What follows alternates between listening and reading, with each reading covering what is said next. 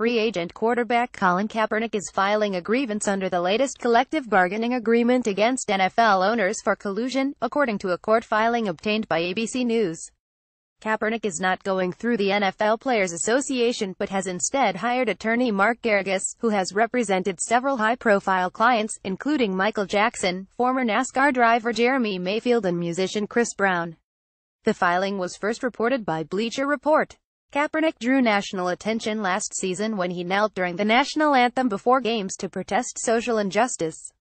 His kneeling led to a movement that has spread through the league while also being vilified including multiple negative comments from President Donald Trump. He has not been with an NFL team since severing his contract with the San Francisco 49ers in March. Sources told ESPN's Adam Schefter at the time that Kaepernick would stand during the anthem in 2017. Most recently, the Tennessee Titans were in the market for a backup quarterback given Marcus Mariota's hamstring injury, and coach Mike Mularkey said I'm not aware if there was interest in Kaepernick.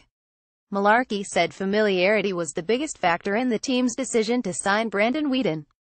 In September, Ray Lewis said the Baltimore Ravens chose not to sign Kaepernick after his girlfriend posted a racist tweet featuring the former All-Pro linebacker and owner Steve Bisciotti.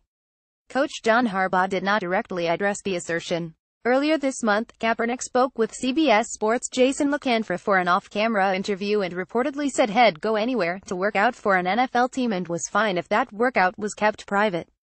Kaepernick said he was looking for an opportunity to play and just wanted to be judged as a football player. Kaepernick said he has remained quiet about his desire to play, to avoid causing a distraction. His agent has reportedly been reaching out to all 32 teams to note his availability. The NFL has not reached out to Kaepernick to discuss social issues.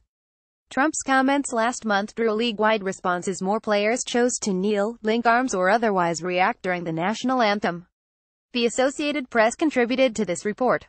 Report a typo to the ABC 13 staff-related topics Sports Colin Kaepernick NFL U.S. World San Francisco 49ers